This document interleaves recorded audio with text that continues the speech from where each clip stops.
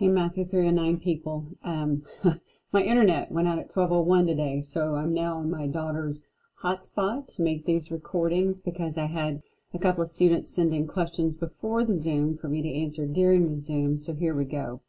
Uh, one student sent this question in, and it is, um, I'll try to use markers that you can see. So it's from MyLab Math, and it's this equation there. And so when you're doing the test and when you're doing the homework, you need to underline and highlight what the items, the variables represent. Like P is the amount of money borrowed. R is the percent, but if you're doing monthly, you're supposed to divide it by 12. In other words, 12 months in a year. And then the number of payments, like if it's two years, that's 2 times 12. We would put 24 in there. And then they give us the example. There is a four-year car loan. So I'm going to go ahead and say everywhere that I've got the letter N, I need to have 4 times 12 in its spot. So I need to have 48 there. And if you look on my exponents, that's where I've got the 48. Everywhere there's an N because they're in the exponents. And then it says it was an initial investment of 2000 so that goes right there where the P is and then an annual interest rate of 2.4, which is actually 0.24, but since it's monthly, everywhere R shows up, I have to divide it by 12. So here's an R. So in my formula, oops, there's another R. They're all over the place. So where that R is, I have to take my interest, 0.024, divide by 12. Same thing here. There's another R. I've got to do 0.024, divide by 12. 0.024 divided by 12, and those are all my pieces except for the ones that were already listed in the equation itself. So now, once I've got it plugged in nice and neat where I can read it well, then I need to put it in my calculator, and that's where you need to do probably most of your practice. Remember, I've said before, you've got to be smarter than your calculator because calculators are just dumb. and you got to tell them everything to do. So I'm going to show you uh, how I would punch this one in. I discourage you from writing anything down because you can write it down wrong. But this particular student, I had already shown them once and they're like, help, I need to see a little bit more. So I was showing some more, like I put what I got from my numerator over here, but I wrote it out to a bunch of decimal places. And then for my denominator, I got it here. So this might be something that you pause the video right here where you can see these numbers and practice and you might want to practice with me a couple of times, but on your own calculator, you have got to locate where the parentheses are. And then you got to be thinking order of operations. And then I like to go, well, I guess I'll go forward for you guys on this one. So I'm going to start here with my 20,000. And then you got to be watching that what you're wanting and what actually was heard is what's going in on the screen. Times. I need to open a parentheses to get this point 024 divided by 12 and close the parentheses.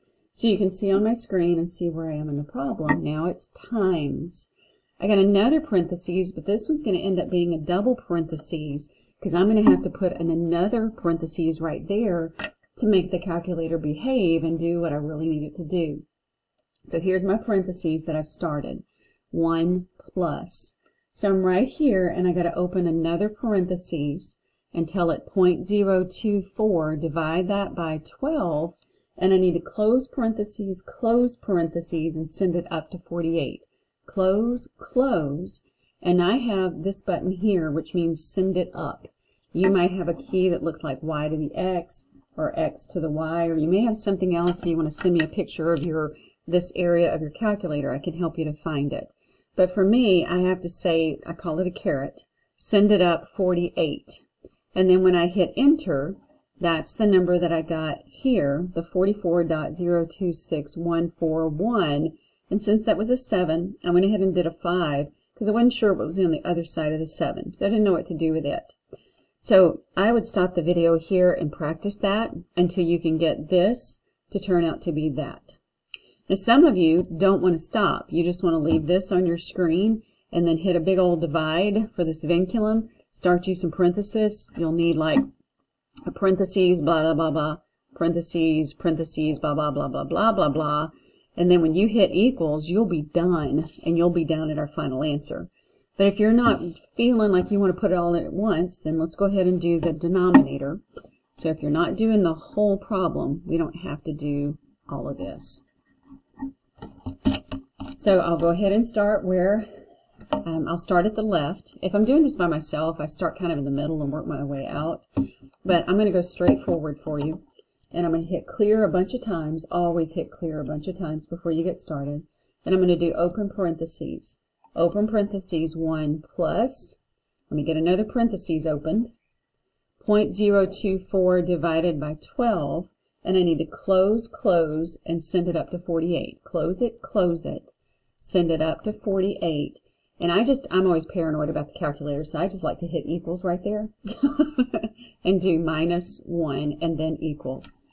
And now you're going to see that that matches this 0.1006535. Um, what did I even put? Oh, yeah, for that 3, I went ahead and took the 7 to make it a, a 4, so I put a 4. And so now you might double check that a couple of times on the test or your homework before you do the final one. And now I've got to put all of this stuff in. And this is where I'm like too lazy to do that. I just like to leave it in my calculator. But I'm just going to double check. Did I put in what I wrote down? Divide by 0.100653554 equals, and that gets us $437.40. And that's the question is, what's going to be this person's monthly payment? So I'm going to go ahead and stop this video because this question's a little different from the other ones that were submitted.